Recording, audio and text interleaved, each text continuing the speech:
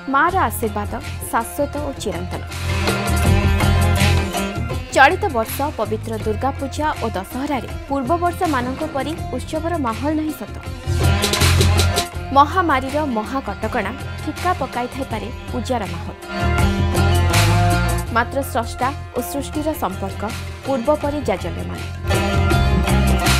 କେବଳ ମଣ୍ଡପ ଦର୍ଶନରେ ନୁହେଁ ଆସନ୍ତୁ ମାଙ୍କୁ ସଜେଇବା ଆମ ମନ ମନ୍ଦିରରେ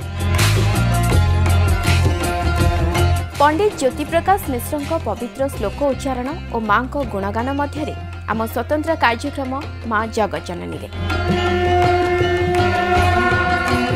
ଅକ୍ଟୋବର କୋଡ଼ିଏରୁ ଛବିଶ ତାରିଖ ସକାଳ ଆଠଟା ତିରିଶ ମିନିଟ୍ରେ କେବଳ ଅର୍ଗସରେ